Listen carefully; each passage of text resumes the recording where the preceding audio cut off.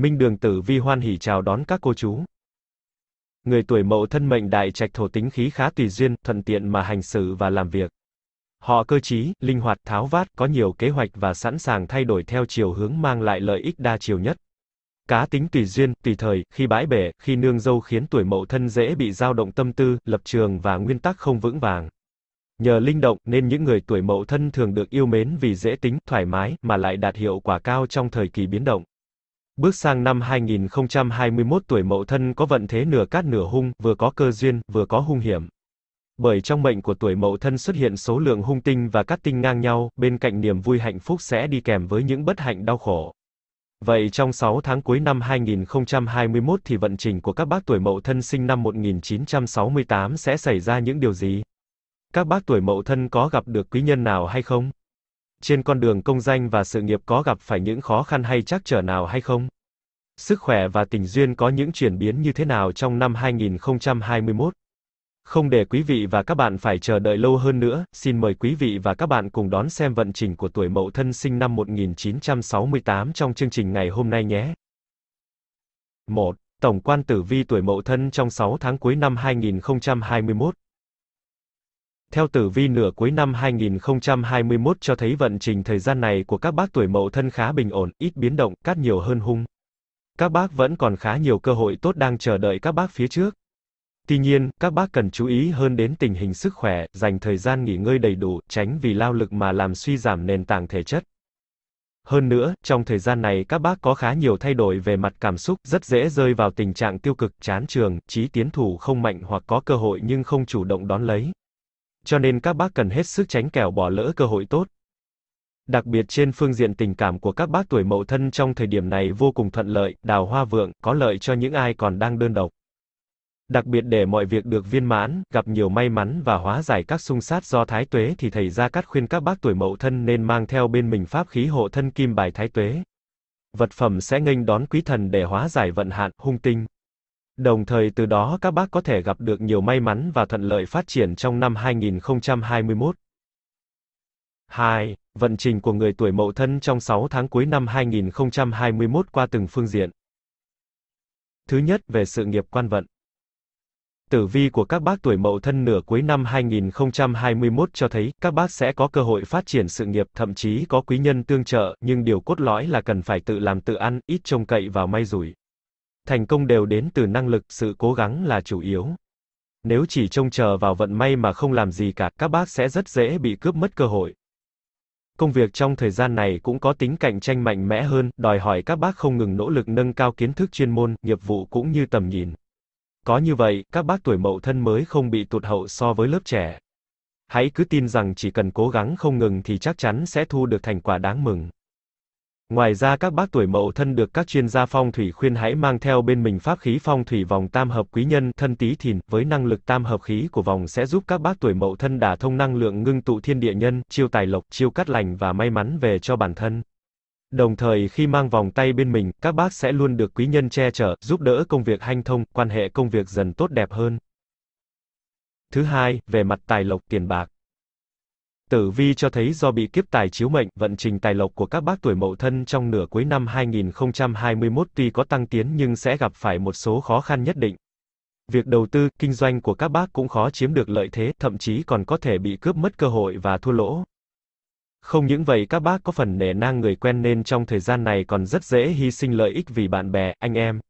Nhiều trường hợp còn bị lợi dụng vì sự thật thà của mình, khiến tài vận càng sụt giảm. Vậy nên trong thời điểm này các bác tuổi mậu thân hãy sử dụng pháp khí nhà Phật Bát Bảo Tâm Kinh. Pháp khí sẽ giúp các bác xua đuổi những hung tinh và vận hạn xấu ảnh hưởng đến công việc và con đường làm ăn. Đồng thời pháp khí sẽ chiêu tài lộc, tăng may mắn và chiêu mời quý nhân tương trợ giúp sự nghiệp, việc kinh doanh, đầu tư được thuận lợi và phát triển rực rỡ hơn. Thứ ba, về mặt tình cảm gia đạo. Tử vi nhận định rằng các bác tuổi mậu thân được nhiều sao tốt về nhân duyên chiếu mệnh. Các bác duy trì được những mối quan hệ tình cảm tốt đẹp. Các bác may mắn luôn có người thân, bạn bè luôn kề bên quan tâm, chăm sóc và giúp đỡ.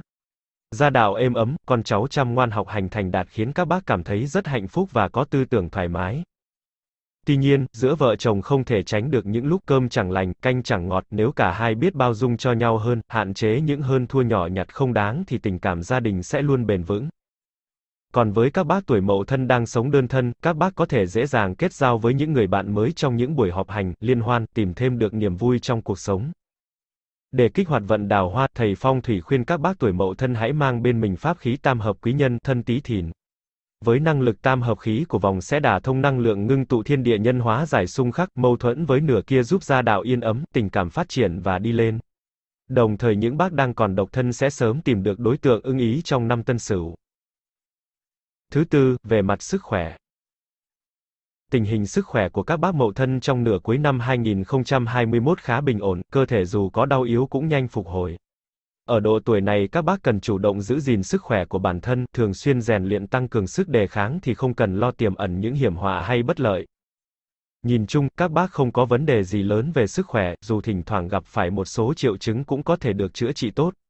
Tuy nhiên các bác tuổi mậu thân hãy sử dụng pháp khí bát bảo tâm kinh, vòng tay sẽ giúp các bác phòng trừ và xua đuổi hung tinh, vận hạn trong năm. Pháp khí cũng giống như một tấm bùa hộ mệnh bảo vệ các bác trong năm 2021. 3. Hung cát từng tháng trong vận trình 6 tháng cuối năm tân sửu của tuổi mậu thân. Thứ nhất tử vi tháng 7 âm lịch. Dù tháng 7 âm lịch được coi là đen đủi theo quan niệm dân gian nhưng may mắn là các bác tuổi mậu thân không bị ảnh hưởng quá nhiều. Nhìn chung vận trình vẫn rất bình ổn, các vấn đề công việc, sức khỏe, tình cảm, tài chính không có điều gì đáng lo ngại. Có một số mệnh chủ còn gặp không ít may mắn nữa đấy, tín hiệu đáng mừng cho thấy sự tiến triển trong công việc cũng như sự tăng tiến về tài lộc. Tài lộc vẫn trên đà khởi sắc. Tuy nhiên, nhu cầu cuộc sống ngày càng tăng, các bác tuổi mậu thân lại có lối chi tiêu phóng khoáng nên chi nhiều hơn thu, tài lộc khó tụ. Các bác cần thay đổi thói quen để duy trì nguồn tài chính ổn định. Thứ hai, tử vi tháng 8 âm lịch. Tiếp tục cát khí từ tháng trước, các bác tuổi mậu thân đón tháng 8 khá nhẹ nhàng. Các phương diện cuộc sống đều diễn ra bình ổn. Công việc của các bác tiến triển thuận lợi, vấn đề nào cũng tìm được cách giải quyết. Đây là cơ hội để các bác thể hiện năng lực cũng như tầm nhìn của mình, hãy nắm bắt thật chắc nhé. Mọi thứ diễn ra đều đều đôi khi cũng khiến các bác cảm thấy cuộc sống nhàm chán với guồng quay lặp đi lặp lại. Các bác có thể tự tạo ra hứng thú cho bản thân bằng cách tìm ra điều mình có hứng thú nhất. Thứ ba là tử vi tháng 9 âm lịch. Tháng 9 âm lịch này, các bác tuổi mậu thân tập trung chủ yếu vào sự nghiệp. So với trước đây, các bác sẽ có nhiều động lực làm việc hơn trong tháng này, tuy khó khăn không ít nhưng kết quả đạt được vô cùng xứng đáng. Vấn đề sức khỏe cũng cần các bác đặc biệt lưu tâm trong tháng này. Mải mê lo công việc khiến các bác bỏ bê chăm lo sức khỏe, khiến cơ thể đến giới hạn chịu đựng và có thể lên tiếng kháng nghị. Do đó, các bác không nên bỏ qua sức khỏe thể chất của mình, nếu không sẽ ảnh hưởng không nhỏ đến cuộc sống. Thứ tư là tử vi tháng 10 âm lịch. Cục diện tương hình trong tháng 10 báo hiệu những vất vả và áp lực mà các bác tuổi mậu thân phải đối mặt. Các bác sẽ phải nỗ lực gấp đôi, gấp ba thường ngày mới mong hoàn thành công việc đúng thời hạn yêu cầu. Hơn nữa, các bác sẽ phải tự thân cố gắng, làm việc một mình mà không có ai trợ giúp. Tuy nhiên đừng quá lo lắng, quý nhân sẽ xuất hiện kịp thời và giúp các bác khơi thông thế bế tắc, khi đó các bác sẽ thấy sự nghiệp của mình có bước phát triển không nhỏ. Thứ năm là tử vi tháng 11 âm lịch. Tam hợp mang đến cho các bác tuổi mậu thân một tháng bình ổn và nhẹ nhàng về nhiều mặt. Công việc tiến triển hợp lý, tình cảm ổn định, tài chính đủ ăn đủ tiêu. Tuy nhiên, sức khỏe của các bác không được lý tưởng lắm. Trong tháng có sao xấu chủ về bệnh tật chiếu mệnh gây ra một vài ảnh hưởng xấu. Các bác sẽ thường xuyên cảm thấy mệt mỏi, cơ thể suy nhược, trạng thái tinh thần sa sút thiếu tinh thần nên cuộc sống bị ảnh hưởng không nhỏ. Thứ sáu là tử vi tháng 12 âm lịch. Vận trình tổng thể khá tốt. Nổi bật nhất là phương diện sự nghiệp, hứa hẹn một tháng khá nhàn hạ, không có nhiều áp lực, làm gì cũng hanh thông, hoàn thành đầy đủ. Cho nên dù cơ hội thăng chức không nhiều nhưng các bác tuổi mậu thân vẫn có thể cảm thấy thư thái với tình trạng êm đềm hiện tại.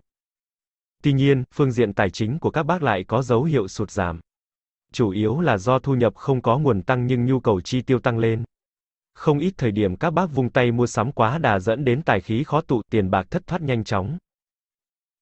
4. Vận hạn của tuổi Mậu Thân trong vận trình nửa cuối năm 2021. Thứ nhất là sao hạn tuổi Mậu Thân. Trong thời điểm 6 tháng cuối năm 2021, bác trai tuổi Mậu Thân được sao Mộc Đức chiếu mệnh. Bởi Mộc Đức được coi là phước tinh mang lại may mắn, an vui, tốt lành nhất là gia đạo. Tuy nhiên, bác vẫn cần đề phòng bệnh tật phát sinh, nhất là liên quan về khí huyết trong cơ thể. Bên cạnh đó bác trai cũng cần chú ý đến hạn huỳnh tuyền. Đây là hạn xấu tác động chủ yếu về phương diện sức khỏe. Thời điểm này bác sẽ dễ đau yếu, bệnh tật nghiêm trọng. Mưu cầu danh lợi đều khó thành dễ xảy ra thất bại. Còn đối với bác gái tuổi mậu thân thì trong thời điểm này bác sẽ được sao thủy diệu chiếu mệnh. Đây là sao tốt chủ về tài lộc, hỷ sự, trong nhà có nhiều chuyện vui. Tuy nhiên sao này kỵ nhất vào tháng tư âm lịch chủ về thị phi, khẩu thiện mất mát của cải, bị đàm tiếu, nói xấu sau lưng. Ngoài ra bác gái còn cần chú ý đến hạn toán tận chiếu mệnh. Bởi hạn toán tận chủ về hao tài tốn của ốm đau bệnh tật, ra ngoài thì cẩn thận tai nạn xe cộ nguy hiểm tới tính mạng, hay vì tiền mà bỏ cả mạng.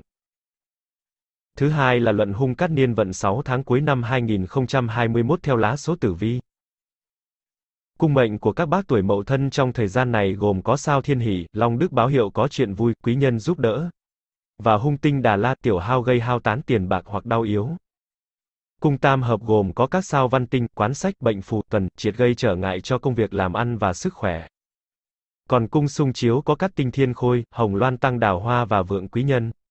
Trong đó cung còn có hung tinh cô thần, hối khí, thiên không, kiếp sát gò ép về mặt cảm xúc khiến tinh thần bất ổn, đề phòng tai nạn bất ngờ. Xin chào và hẹn gặp lại.